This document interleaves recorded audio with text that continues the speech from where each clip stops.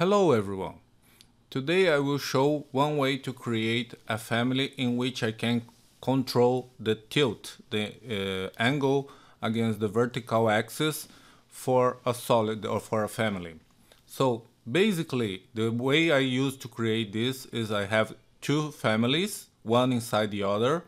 One will, will be the geometry and the other one I will have that I call here host. I will control its angle.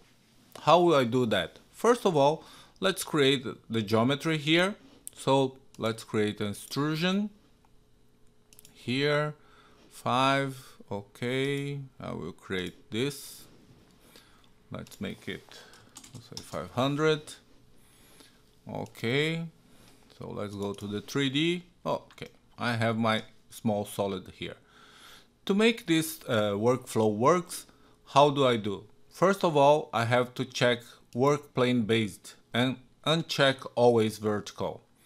Okay, so when I use this work plane base, it means that this family to be placed inside another family or inside a, a project will require a work plane or a, a level or something or a face of an object to be inserted in. Okay. Before we, we load this family inside the host family, let's prepare it because I this is empty. I have nothing here. So I have to create a way to control the angle of the family, of this new geometry. How will I do that? To control angle, you cannot use reference planes. You should use reference lines. So let's create a reference line starting from the center to here. Okay, but I want to be sure that this uh, line will move around the crossing of these two reference planes. So how do I do that? I use align tool, press tab until I see the small dot and then I lock them to each other. Same thing to the horizontal reference plane.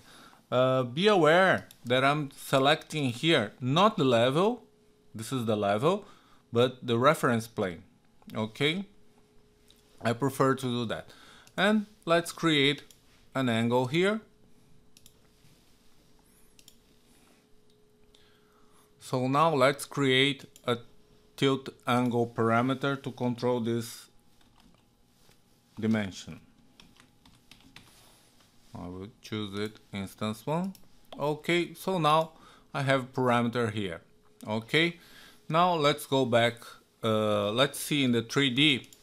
In the 3D view, I have the line, and when I select the line, I can see four planes. One vertical, one horizontal, let's say, and one on each end.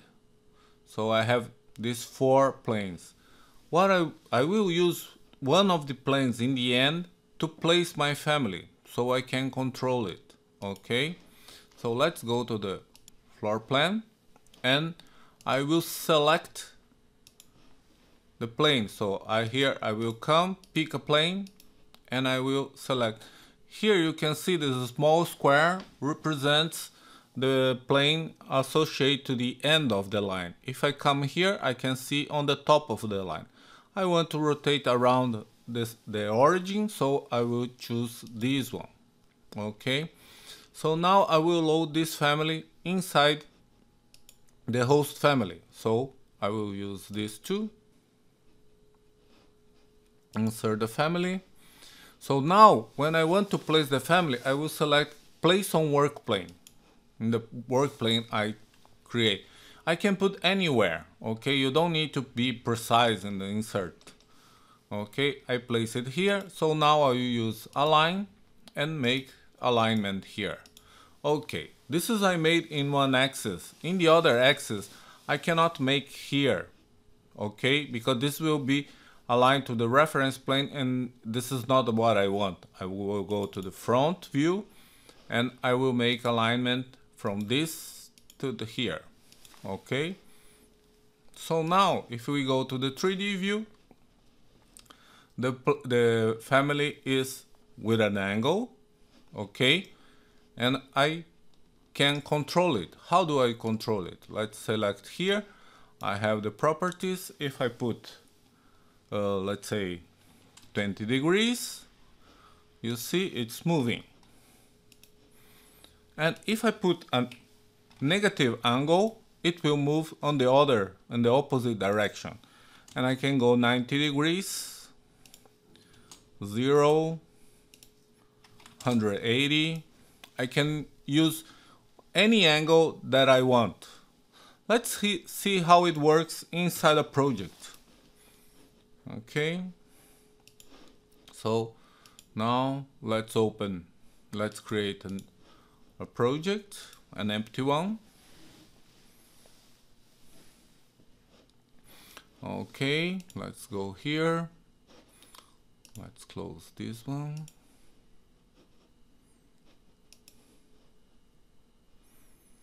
and now let's load into the family into the project so I have the family here. Let's see from the front. Okay south. Here I have it. Let's put some offset. Let's say 1000 Let's go back to the floor plan. So now I can see it. If I change here the angle, let's say 45 degrees, it will just move around.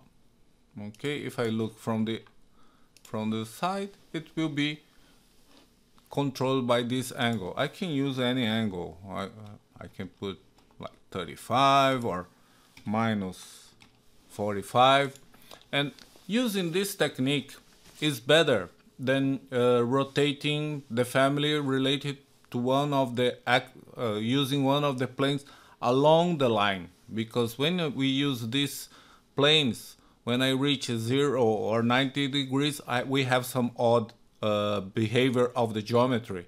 So this way is the easiest way to have some control and I can rotate it 360 degrees which is very nice. Thank you very much. See you next time.